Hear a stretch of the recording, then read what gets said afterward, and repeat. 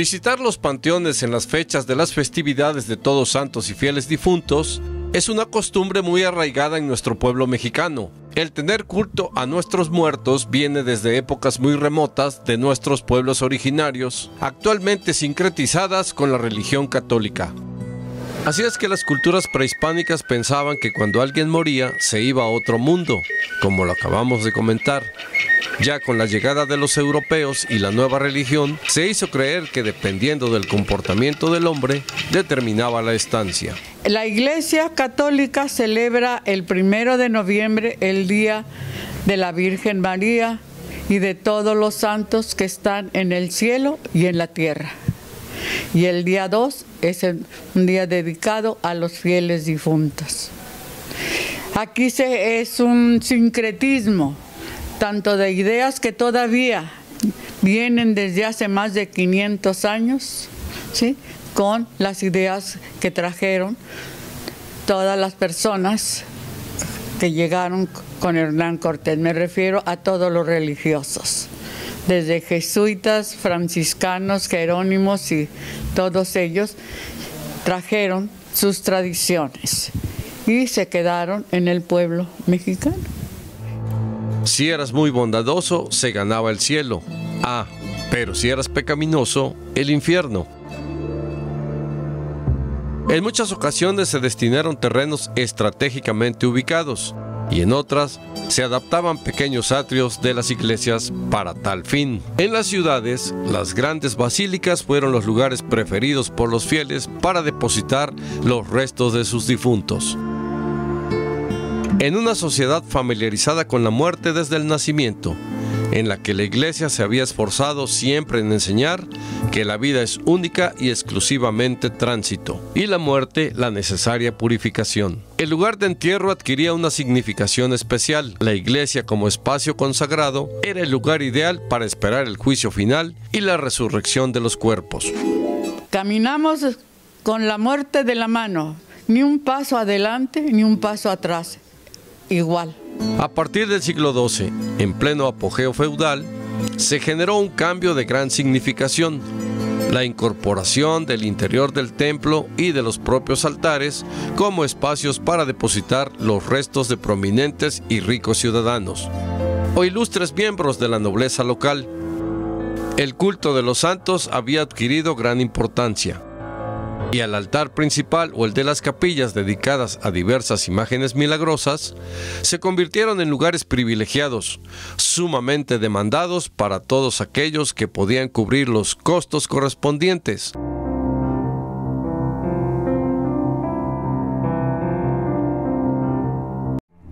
Si en los primeros tiempos del cristianismo los difuntos eran enterrados sin tomar en consideración su condición social o material, a partir del siglo XII, la muerte había dejado de ser democrática. La posición social, económica o política constituían elementos determinantes a la hora de establecer el lugar de sepultura. De más está decir que los miembros de la realeza mandaban a construir enormes y fastuosos monumentos funerarios en el interior mismo de los templos, tendencia que fue imitada por muchos miembros de la nobleza señorial. Todas las iglesias de las ciudades, grandes basílicas como humildes capillas, fueron utilizadas como camposantos. Durante el virreinato de 1789-1794, comenzaron a ponerse en práctica las instrucciones establecidas en la Real Disposición relativa al establecimiento de cementerios fuera de los poblados. En 1804, Carlos IV incorporó nuevas disposiciones complementarias a la recopilación relativa a cementerios. En ella, hace del conocimiento de sus súbditos sobre la necesidad de construir cementerios fuera del poblado para el entierro de cadáveres, manifestando una honda preocupación por la contaminación del aire, originado por las miasmas que normalmente provocaban los camposantos lo que determinó que los corregidores se pusieran de acuerdo con los obispos con la finalidad de que se reconozca la urgencia de construir cementerios y promovieran en todos los pueblos, villas y ciudades en que haya o hubiere habido una epidemia su establecimiento. Que estos debían ser erigidos en terrenos apropiados por su calidad, sea el más a propósito para absorber las miasmas pútridas y facilitar la pronta consunción o desecación de los cadáveres, evitando aún el más remoto riesgo de filtración o comunicación con las aguas potables de vecindario. Que los cementerios debían estar provistos de una barda lo suficientemente alta para impedir que nadie, persona o bestia, puedan causar alguna profanación. Que cada cementerio debía disponer de un osario, para desahogo y limpieza de los mismos, al tiempo que se especificaban las características que debían tener las fosas, el tipo de construcción, ubicación de las tumbas y la posibilidad de construir sepulturas de distinción. Las últimas décadas del siglo XVIII y las primeras del XIX atestiguaron una tendencia creciente al alejamiento de los muertos del centro de los poblados.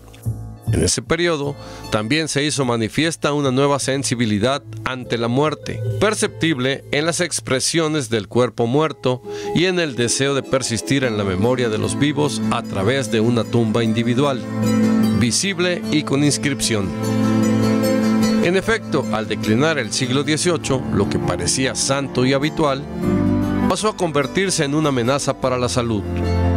Los cadáveres humanos, sobre todo de los fallecidos por enfermedades epidémicas, empezaron a verse como productores de miasmas befíticos, causantes de contagios y muertes.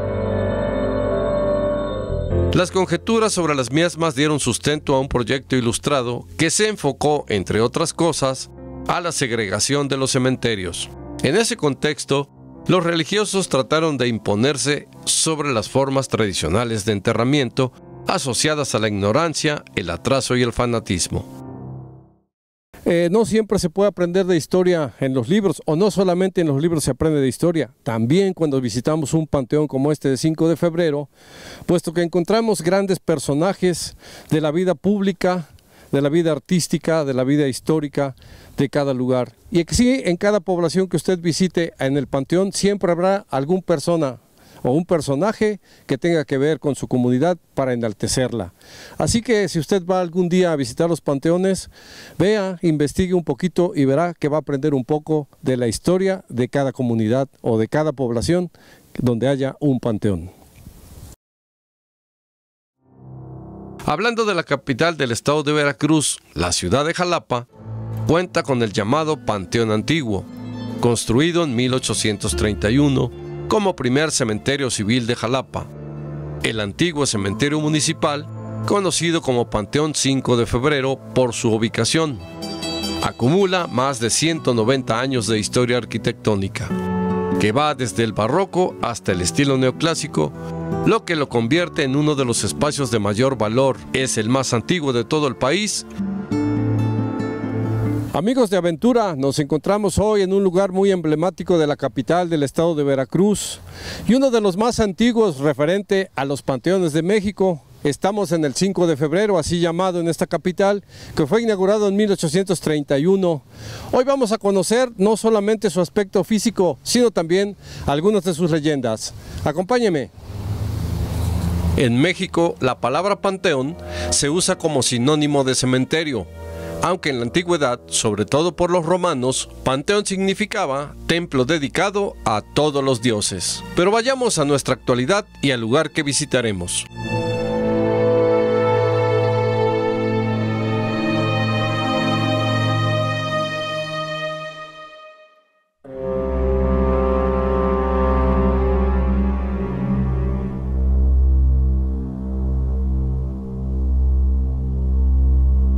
El lugar muestra su antigüedad y algo de descuido.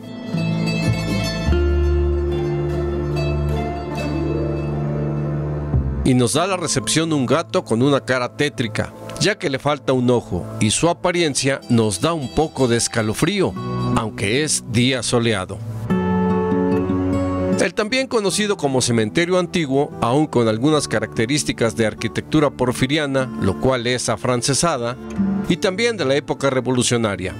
con restos de personajes ilustres como gobernantes, políticos, artistas y hasta de un santo como Rafael Guizar y Valencia. Con placas en chino, árabe, inglés, francés y ruso, este cementerio histórico refleja la cantidad de extranjeros que convirtieron a Jalapa en su ciudad, debido a la belleza propia de ella y a su benigno clima.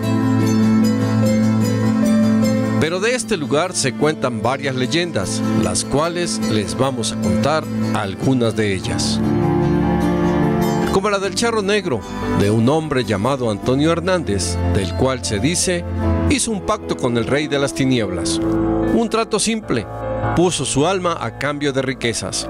Y de pronto, Antonio empezó a hacerse de terrenos y fincas, muy rico. Y al igual que muchos lugares antiguos e históricos, este lugar también cuenta con muchas leyendas. En específico una de una persona llamada Antonio Hernández que supuestamente hizo pacto con el diablo. Un pacto muy sencillo, le cambió su alma a cambio de riquezas.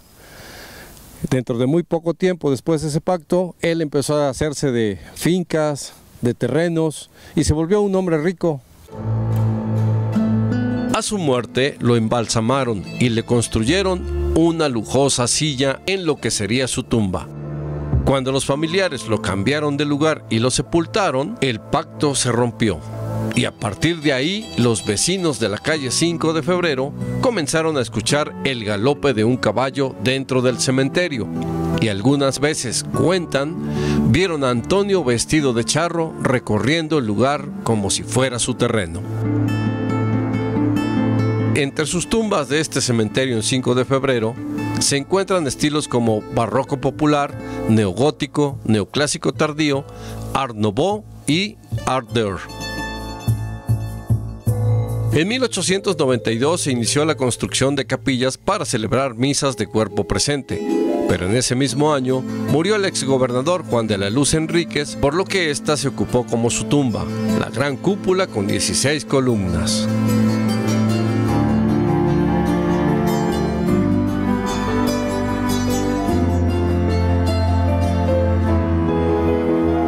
Otra de las leyendas que se hizo famosa es la de la mujer de blanco, contada por algunos taxistas. De las varias leyendas que se cuentan, también ha tomado relevancia la de la mujer de blanco. Según algunos taxistas, no hace muchos años, encontraban una mujer en la entrada de este panteón, una mujer vestida de blanco, que les hacía la parada y les pedía que la llevaran a la casa número 12 de la calle de Juárez.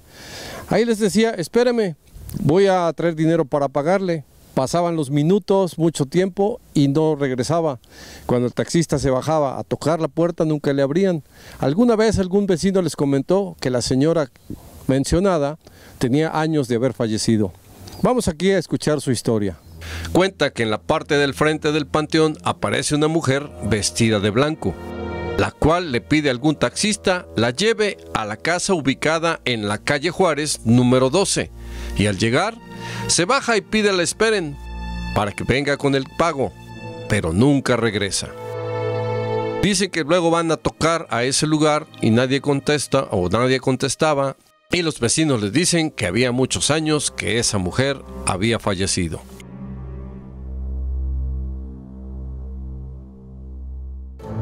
El panteón fue declarado Monumento Histórico de la Nación en el año de 1986 y está cerca de cumplir su bicentenario. En él se encuentran más de 7.000 mausoleos, aunque muchos ya están en ruinas, con sus colores gris, blanco y gris Oxford, que hacen se sienta la antigüedad de este lugar sacro para el descanso de las almas de los difuntos. La leyenda de la mujer de blanco tiene otra versión, esta contada por una mujer que vivió por estos rumbos. Hace, un rato les comentaba lo de la leyenda de la mujer de blanco, pero hay otra versión de la misma, suponemos que es de la misma mujer de blanco que se hablaba hace rato por los taxistas, pero en esta vamos a escuchar la versión contada por una vecina que vivió hace años por estos lugares y que frecuentemente pasaba por aquí cuando era niña y nos cuenta cuál fue su experiencia.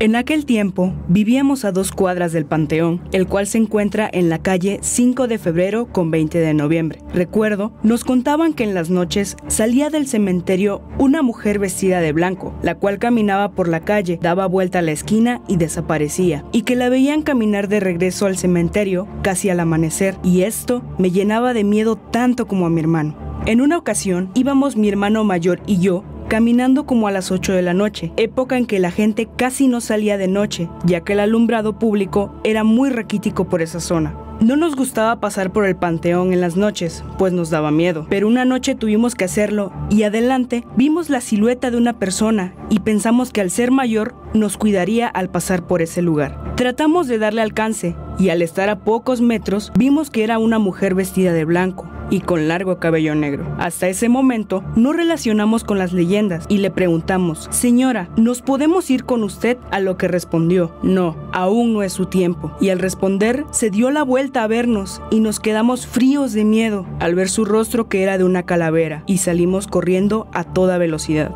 Algunas personas y mi abuelita nos comentaron que es la misma muerte que sale cada noche del cementerio para buscar a sus nuevos acompañantes y otros aseguran que es el espíritu de una mujer que murió trágicamente viendo frustrados su amor y sus ilusiones, saliendo cada noche en busca de su amor.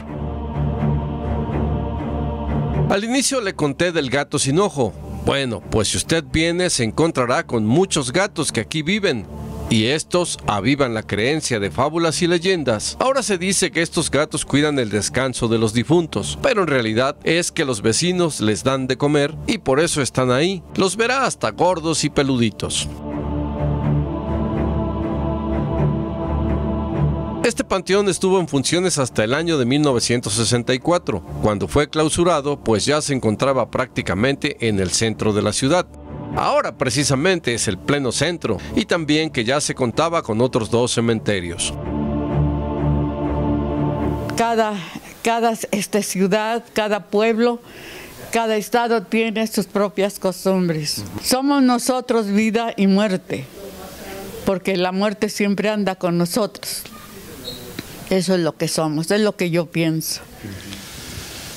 No dejemos que la muerte agonice su propia muerte no cabemos su propia tumba de quien ha vivido con nosotros desde tiempos inmemoriales. Recordemos que la muerte mexicana es una muerte vital, un canto a la vida. No nos trataba como hombres, sino como dioses. Fue el primer cementerio civil de Jalapa, porque hasta 1859 era la iglesia la encargada de controlar los cementerios, pero con las reformas de Benito Juárez se le quitó el control de estos. Este cementerio, al igual que algunos de Europa, se puede decir que es un museo y un paseo por la historia local, ya que no nos alcanzaría el tiempo para mencionar a todos y a cada una de las personas ilustres en distintos ámbitos de la vida de nuestro estado y de la capital que se encuentran sepultadas en este antiguo recinto arquitectónico. Pues aquí andamos buscando entre las tumbas, ya que alguna ocasión una persona me comentó que a finales de 1800 se había sepultado supuestamente a un vampiro europeo, pero las lápidas algunas ya están ilegibles de las tumbas, como estas que encontramos aquí, son tan antiguas que ya no se puede leer quiénes estuvieron aquí sepultados. Y bueno, es otra de las leyendas más de que aquí estuvo sepultado un vampiro. Y como andamos buscando las tumbas de distintos personajes, entre estas también encontramos los signos de lo que puede ser un trabajo de hechicería o magia. Eso pensamos, pero en realidad no lo sé. Encontramos una cruz atada con un listón rojo y enterrada. Entre los personajes históricos enterrados en sus tumbas destacan el general Juan de la Luz Enríquez, quien se desempeñó como gobernador del estado de Veracruz durante dos mandatos y participó en la batalla del 5 de mayo contra los franceses. Pantaleón Cerdán, dueño de la fábrica textil El Dique. Sebastián Camacho, que fue también gobernador de Veracruz, y Enrique C. Repsamen, fundador de la Escuela Normal Veracruzana. Destaca especialmente la tumba del obispo Rafael Guizar y Valencia, que muere en 1938 y se entierra en una tumba prestada por los padres Mesa y Mesa. Al ser exhumado en 1950, se encontró su cadáver incorrupto, por lo que su cuerpo fue trasladado a la catedral. El visitante también podrá encontrar en el Panteón 5 de febrero el monumento a los mártires del 28 de agosto y las tumbas de Antonio María de Rivera, Enrique César Velarde, Abraham Buchés, Justo Fernández López, Carlos Lennox Kennedy y Esther Puchés de Canovas. Ubicado entre las calles 20 de noviembre, 5 de febrero, Poeta Jesús Díaz y Landero y Cos. Pues de entre los personajes que se encuentran aquí en este panteón, pues está aquí la tumba de Monseñor Guizali Valencia, que obviamente está vacía porque hace muchos años lo sacaron y ahora está en la catedral. Hoy nos encontramos en uno de los pueblos mágicos del estado de Veracruz, en Naulinco de Victoria, lugar muy conocido por su fabricación de calzado, así como por sus festividades a San Mateo, con la danza de moros y cristianos, así como su negreada. A finales de octubre y principios de noviembre se efectúan muchas actividades con la cuestión del Día de Muertos y los fieles difuntos, así que vamos a conocer un poco de Naulinco de Victoria en estas fechas memorables de este lugar. Pueblo de tradiciones y recién un año atrás nombrado mágico. También cuenta con un panteón de hace casi 235 años de antigüedad y nombrado desde el 2010 como Patrimonio Histórico de los Veracruzanos. El panteón está dividido en dos partes, una donde se encuentran las tumbas más recientes con una arquitectura moderna. Este panteón está muy bien ordenado con una capilla al centro del mismo. Lo que se aprecia es que está muy limpio y sus pasillos de césped bien cortado. El Panteón Municipal de Naulinco es considerado patrimonio histórico desde el 2010 por el Instituto Nacional de Antropología e Historia y también se dice que fue fundado allá por 1789. Usted puede venir a visitarlo y encontrará aquí diferentes tumbas con algunas esculturas, se dice que traídas de Europa porque son hechas de mármol. La parte más interesante es donde están las tumbas y lápidas más antiguas. Algunas ya no se pueden ver las fechas en sus inscripciones. También se dice que entró en funciones en el año de 1835 y no en 1789, con arquitectura neoclásica y neogótica. En este lugar también existen leyendas, como la de la aparición de un niño que se encuentra sepultado ahí así como de ruidos extraños por la noche y sombras que deambulan en este cementerio. Esto contado por algunos de los cuidadores del sitio. Aquí en este lugar, cada uno de noviembre por la noche se efectúa la tradicional cantada, que es la entonación de alabanzas dedicadas a santos, mártires y a personas ligadas a la religión. Esta, se podría decir, es la primera cantada. Después se van por las calles del pueblo, casa por casa, a entonar estos cánticos religiosos junto a las ofrendas.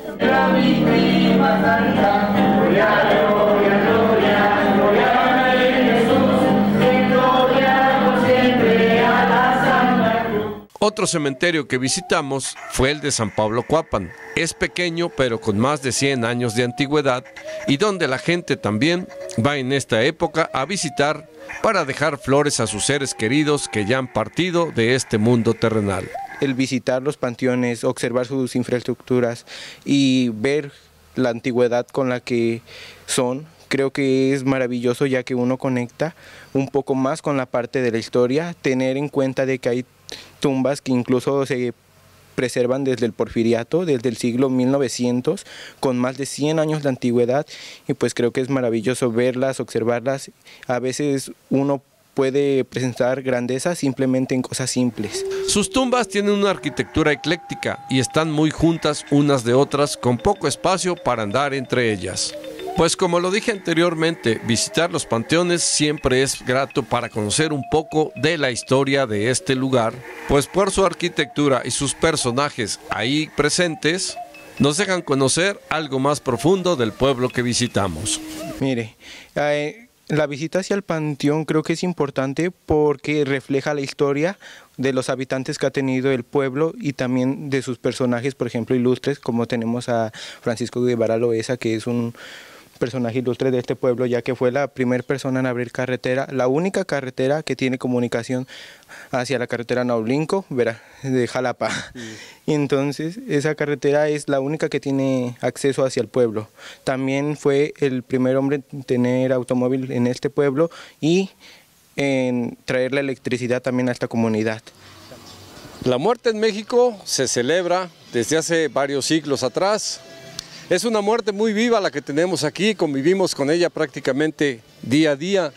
Y en esta época de finales de octubre y principios de noviembre la tenemos más presente que nunca para que usted vea cómo se disfrutan las festividades o las celebraciones a la muerte aquí en México. Nos vemos la próxima semana en su programa de aventura.